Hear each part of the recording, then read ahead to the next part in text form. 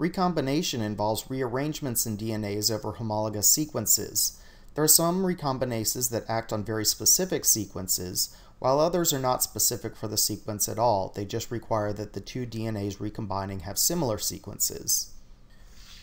Cre recombinase comes from the E. coli phage P1 and recognizes a 34 base pair sequence and recombines two of them.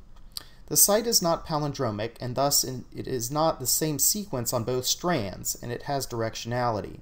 For a DNA containing two such sites, they can be arranged in the same orientation, called parallel, or on opposing strands, called antiparallel. Parallel site recombination, topologically speaking, results in excision of any intermediary sequence, while antiparallel sites undergo inversion. Such flipping systems are popular targets for controlling gene expression.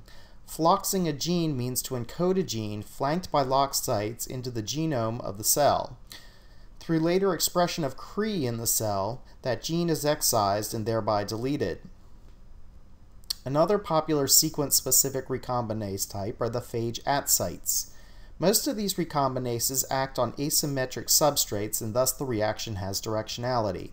In the most popular system, from lambdaphage, a DNA with the ATP sequence is recombined with a DNA, such as the genome, with an ATB sequence.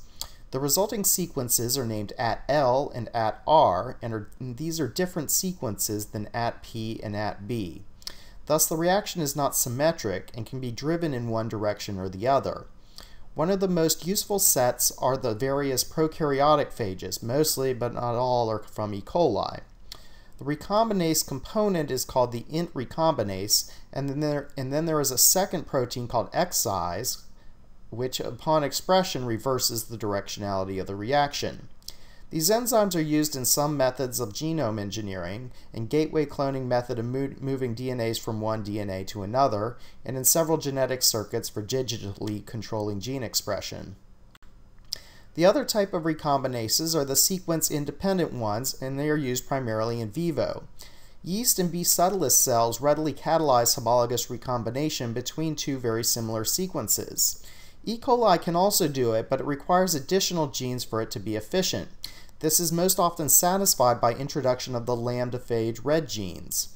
This process is useful for recombineering, which is recombinase-based manipulation of the genome or plasmids in E. coli using synthetic DNAs. The most common example involves deleting specific genes in the genome by recombination with an antibiotic selection marker flanked by sequences homologous to the gene. The cellular REC-A protein is also involved in the reaction. In the cell, it is involved in DNA repair pathways by stabilizing single-stranded DNAs. REC-A can also be used to promote homologous recombination in vitro, forming the basis of some DNA fabrication methods.